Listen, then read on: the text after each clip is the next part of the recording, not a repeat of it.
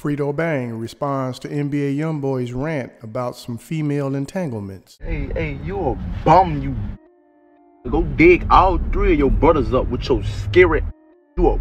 Stop running from me. I ain't in no competition with you. Stop writing me. You a.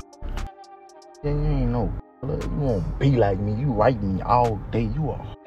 Yeah, I could double back. Hey, I could f any bitch. Nigga gonna try to double back and f the bitch. I could f your mama. You gonna try to f your mama. You a. You a pimp. Man, somebody go help little brother out, bro. He angry, dog. He angry.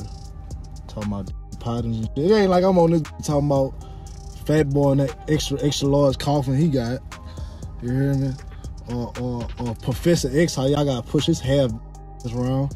I don't, I'm not on the talking about that. All I said I was sell more albums. Yeah, you drop it every time I drop. You know what I'm saying? Then then you mad about a.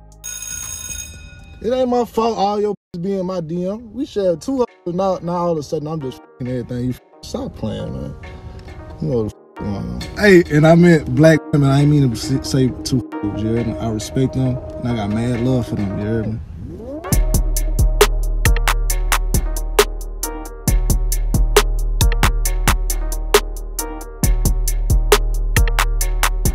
Thanks for tuning in to 9 Mag TV.